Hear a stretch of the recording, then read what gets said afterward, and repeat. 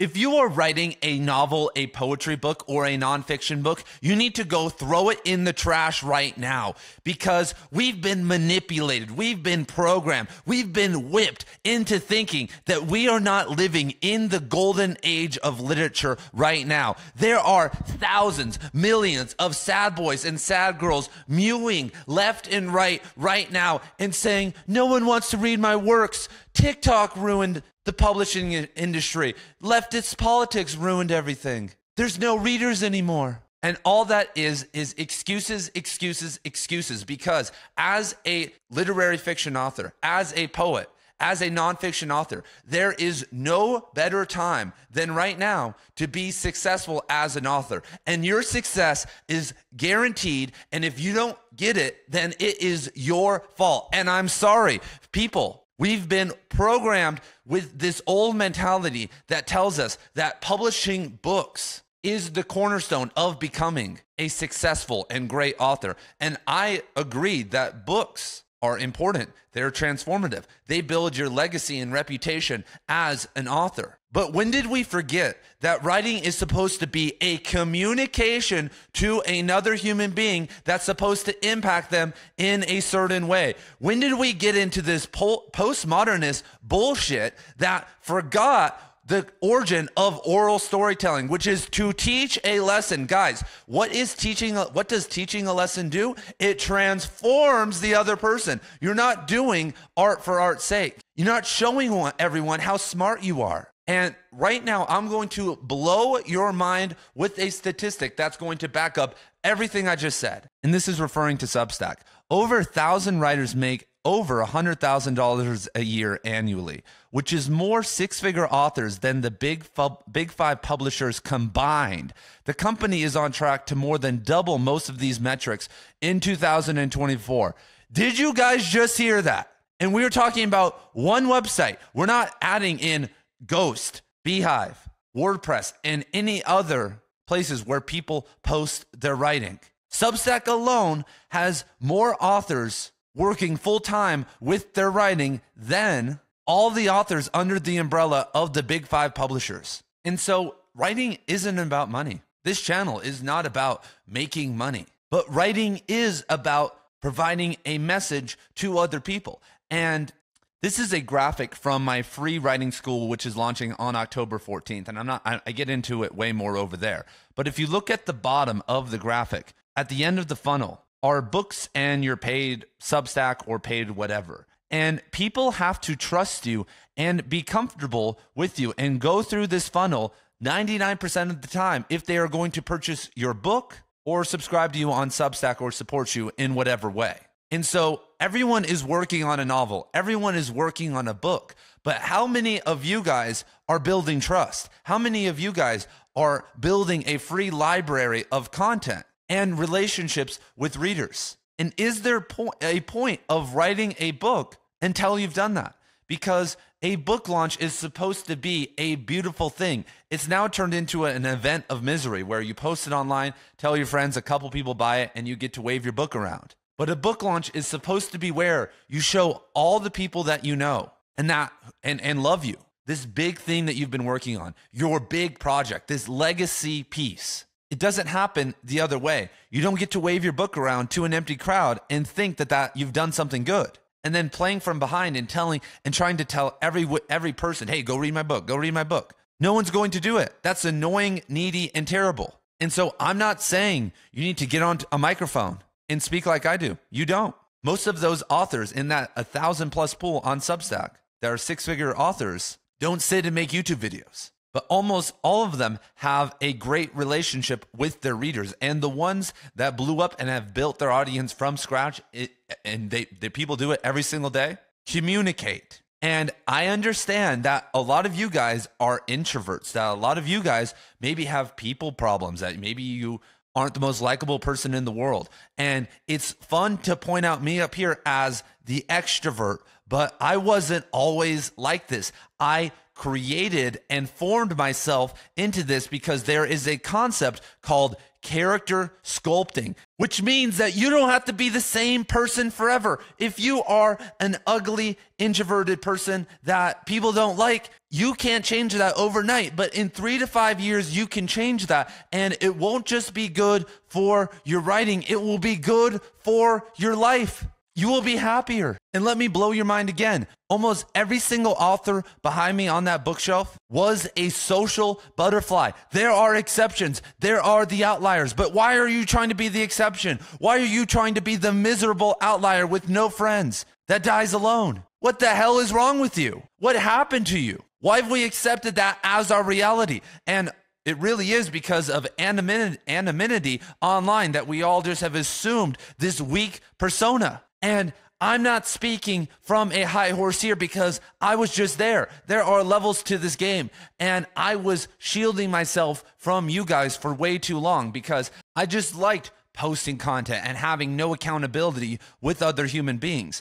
And I was kind of turned off because I got like weird death threats sent to my email and some some weirdo was sending letters to my house that had like veiled death threats. And I was like, Jesus Christ, all my writers are these weird people.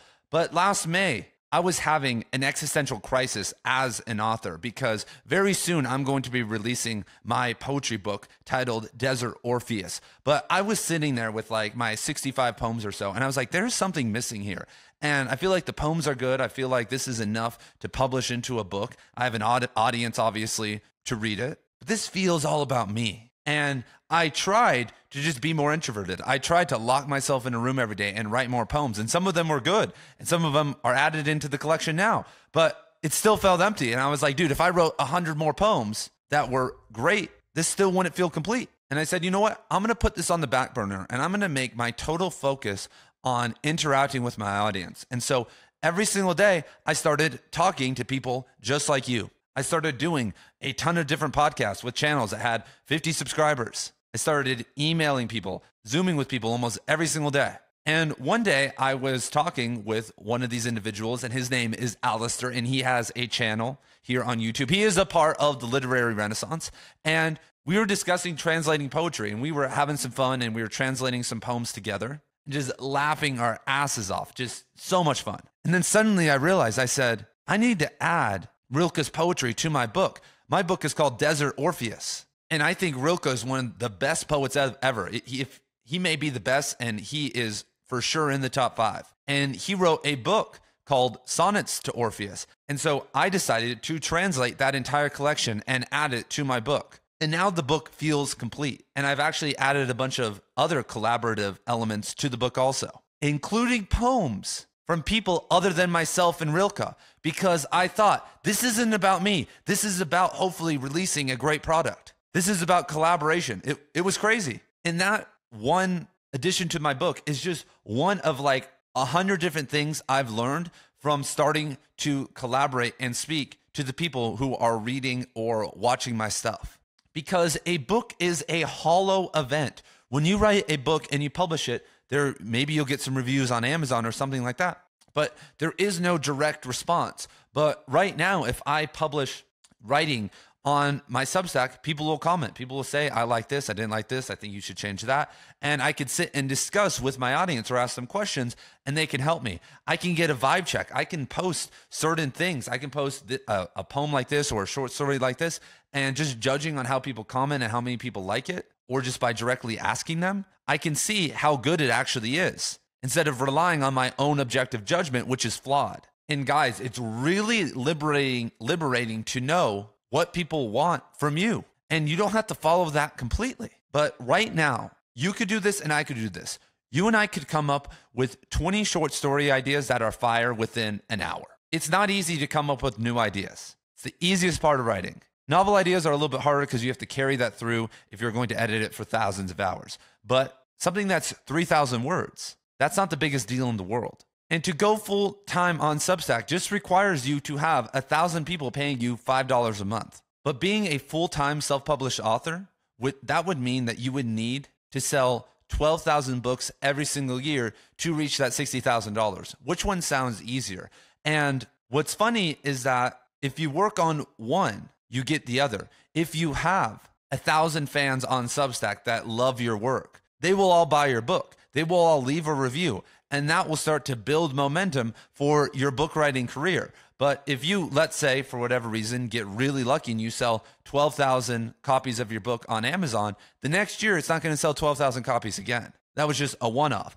And only a handful of those people are going to go find you and subscribe to you somewhere else. And so we're doing everything wrong here. Back in the day, I mean, the whole model of get a few short stories published, publish a novel, it's all wonky now. And it's based on this idea that you just want to be a writer that has no connection with their audience. Because it doesn't matter how weird you are, there are a thousand people that you can find that align with your views.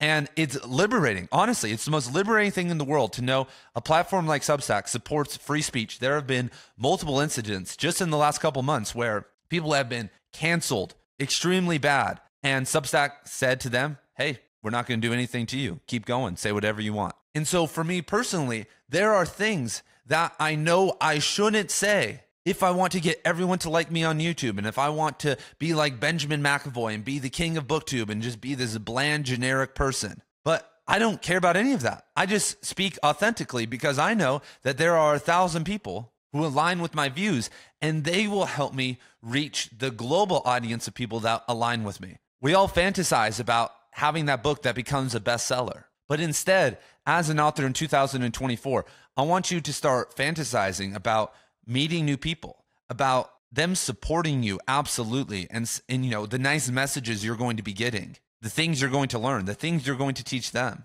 the memory memories you're going to make with them. I've met up with at least 10 people in Phoenix, Tucson, and Las Vegas since last May, since I started reaching out to people. That would have never have happened. I think in early August, I saw the movie Ghost Dog at a vintage movie theater in Tucson with two random YouTube subscribers that reached out to me who were in town for some business conference, and I haven't laughed that hard in a long time. It was it was so fun. I got home at like 1 a.m. and had to go to work the next day and was so tired, but I didn't regret it at all. And what's crazy about this transformation that the Ian from May that was more like hiding myself and not communicating with my audience was a much different person than who I am now. Like in public, at my job as a teacher, I carry myself different. Because when you know that people support you, when you know that you are a part of something, when you create your little pocket, because that's what the literary renaissance is, you guys. It is 50,000 of us going full time in our little zone. It's not this detached experience because that's where singularity happens. Because right now, I have a whole group of people, when they talk about me, they can speak about me in, uh, in, a personal level. Yeah, I've talked to him a bunch. I know Ian. I'm not some detached YouTuber or celebrity who's just trying to farm in views and brand deals to make it big, or a writer trying to farm the big publishing deal or the professor job to be able to detach and not communicate with the audience. And when people hear through word of mouth that you are a cool individual, that you know the person that they know, you know how easy they are going to be to get into your movement, to go check out your stuff? That's how we reach out to people who aren't necessarily interested in writing because we've all been there before. You say, Hey, have you read Blood Meridian, bro? And they're like, Well, what is it about? It's about a bunch of scalp hunters. There's this guy, McCarthy. He was reclusive and he moved to Santa Fe. Like, we've all given these long winded explanations before.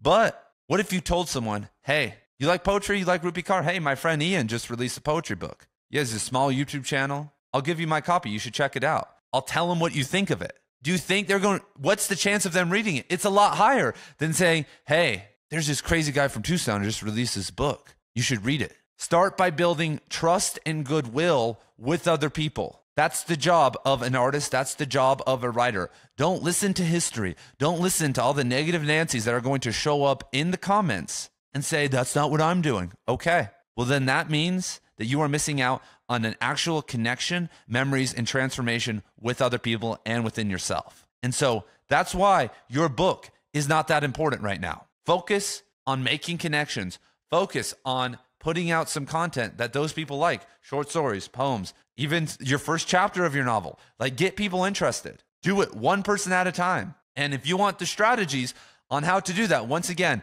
my school course is going to tell you the four daily action steps that you need to take to get that done because I don't believe in hacks, gimmicks, or anything like that. I believe in trust and trust only. So thank you guys for being here. Thank you guys for trusting me with your time. I believe in you. I believe in your work. I believe that if you stand behind your work and are confident about it and are open to others that you can attain your dreams as a writer. And it's insane to think that you may have a novel that's better than Blood Meridian. You may have a novel that's better than whatever you think the greatest novel is of all time. And your success may not be guaranteed if you just sit and send it to publishers and don't do anything else. And so I only wish you the best. Take whatever path you want, but the literary renaissance is going in that direction toward connection.